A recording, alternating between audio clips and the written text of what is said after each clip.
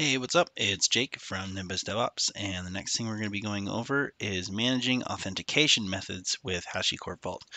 So last time we created a policy. Um, policies are attached to tokens. Vault generates through its various authentication methods. And so now we're going to manage these authentication methods with the Vault UI.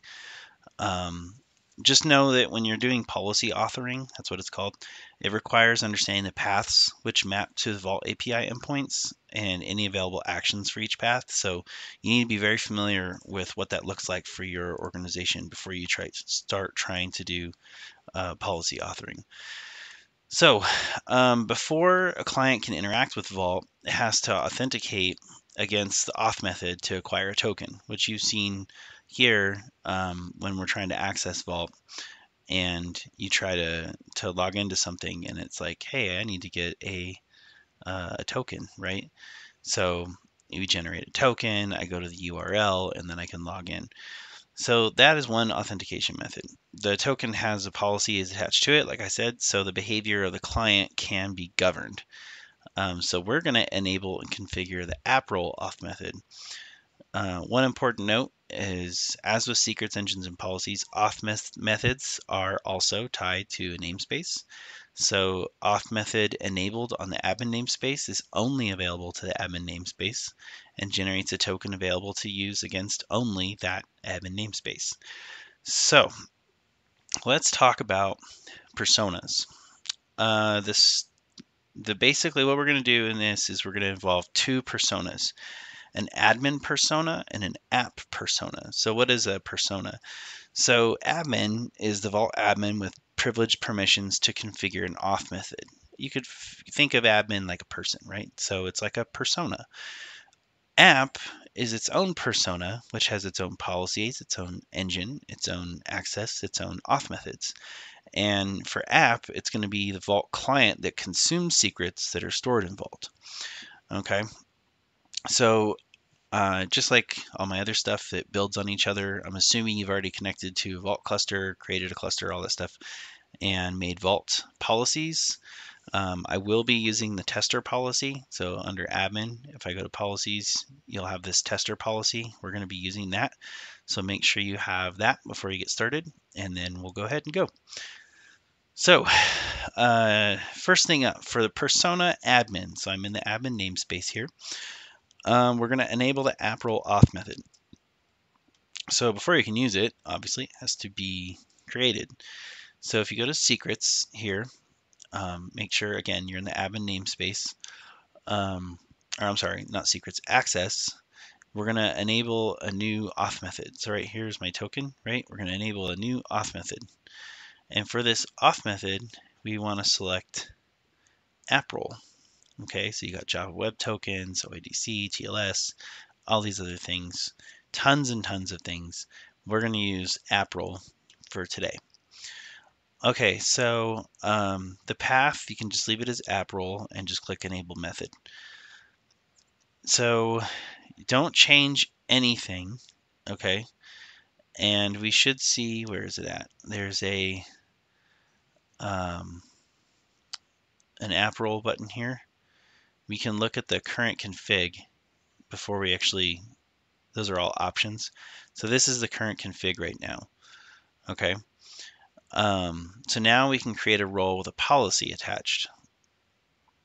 All right. So the next thing we need to do is when we, when we, if you can see here where the path is, um, when we enabled it, it mounts it at a default location of slash auth, okay, and then slash app role. Okay, that's the path. So we're going to create a role in the app persona, uh, and we'll call it web app with a tester policy attached to it. So uh, from the web UI, we're going to create a new uh, web app role with a generated token with a TTL of one hour so with a TTL of one hour, we can renew it for up to four hours, um, and that's four hours from the time that it's created. So what we're going to do is we're going to go to this little guy, which we haven't used, this little shell here, and this is the Vault browser CLI. And we can just execute, I'm going to paste this in here, vault write, and I'm going to do auth app role slash role slash web app. So this is the new one. And I'm going to give it this policy, which is already in the admin namespace, important. And I'm going to use a token TTL of one hour, and the token max TTL will be four hours. Okay. So then I can just hit enter. Success. Data written to auth app role slash role slash web app. Okay, so what just happened? So the role, now we're going to go take a look at something different. So the role ID and secret ID. Okay, so let me close this for a second. And let's just refresh this guy. All right, let's look at our configuration. So you can see I just left all this blank, right? So you don't need to worry about any of that. Um, but you do need to know that we have in here something called a role ID and a secret ID. So when you made the app role, and then we can check it used this tester policy, right? Um, you have a role ID and you have a secret ID. And essentially what that is, is you have a username and a password, basically. Um, so to get a role ID, you have to invoke that auth app role role and then whatever your role name is role ID endpoint, and then generate a new secret ID, which you in, you invoke at same path but secret ID. So auth app role role web app secret ID. So let me show you what that looks like because you're probably like, what on earth is he talking about? Okay, so I've got vault read, okay, auth app role role web app, that's what I made, role ID. So we want to read this ID, okay? So here's our role ID. That's a nasty looking role ID, right? so now we can generate a new secret ID for this. If I go vault write force, okay, so overwrite it, auth app role role web app secret ID. And this is doing it specifically, why, how does it know? Because it's doing it specifically for this web app role, okay? So now I have a secret ID. Perfect. So the the dash force, by the way, um, I'm using a write operation and I'm not specifying any data values. So uh, it's just going to generate that without the values. You can set parameters like CIDR list and have a whole bunch of other parameters that you can stick in there. Um, but for now, I'm keeping it simple. So basically, it's just a username and a password. So the acquire role ID and secret ID are basically your credentials that your trusted application uses to authenticate with Vault. Um, so with role ID, it's good to know, like I said, it's similar to username. So you're going to get the same value for a given role. So in this case, like web app role has a fixed role ID. Okay, so this this doesn't change. Um, the secret ID, it's similar, like I said, to a password, and Vault generates a new value every time you request it. So every time you request this role or this uh, web app secret ID, it's going to change every single time, which is kind of cool because it's just rotating constantly. So we can test and validate this. So um, we're going to switch over to using our app persona. So in your brain, just kind of switch to app persona. And uh, the client in this case is our, our web app uses a role ID and secret ID passed by the admin to authenticate with Vault. So if web app doesn't get a role ID or secret ID, um, then you have to check that out. So here's how we're going to do this. Uh, we're going to use the CLI, and I'll just use this guy right here again. Get out of there. And we're going to have to do some kind of nasty code stuff here. It's not going to be very fun. Vault write auth slash app role slash login.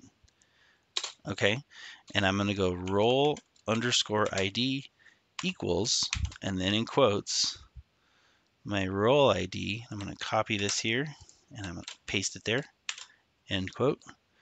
And my secret underscore ID is going to be this secret value there,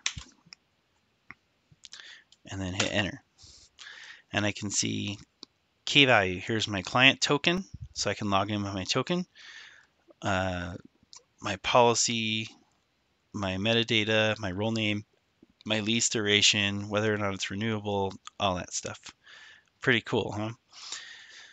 So um, the most important part is the client token because uh, Vault returns a client token with default and tester attached to it.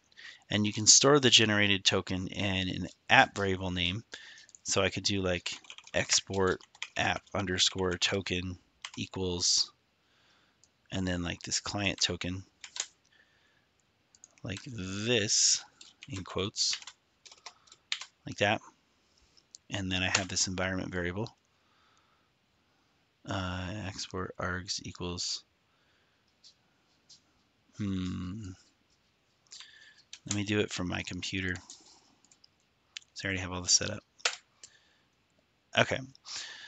So now I can access secrets at secret test web app and I can authenticate with this app token. So I can go vault, oops, all caps, vault underscore token, which I already have set, equals, and then I'm going to use a variable app underscore token, vault kv get secret slash test slash web app. So let me explain what this is doing. So I, I already have a Vault token set, and I set it for when I went to the command or went to the the web UI, and I just copied the Vault token, and that has a time to live. So it's going to expire soon anyways. But what I can do is I can set my Vault token environment variable to the environment variable app token, and then I can use that to run the command vault key value get and then this secret okay? And I should get some metadata back if that token in fact works. We'll go ahead and wait for this. And there you go. So here's my API key, for example. So this is just another way we're getting a little more into the weeds with how to use these tokens. So you can think of scenarios where you have a web application that has an API key and how it might get that with the use of variables. And that was how basically how that variable would work. So anyways, uh, if you have any questions, let me know. But if you want to learn more about the app role method, there is a uh, site here. Um, I'll put this link in the video description um, that describes how all this works. And you can do it with cloud, you can do it with all kinds of different stuff. Um, but essentially how to do a, an app role pull authentication. So yeah, I will leave this to you. Feel free to use it, abuse it, and let me know if you have any questions. And if not, then I will see you in the next one.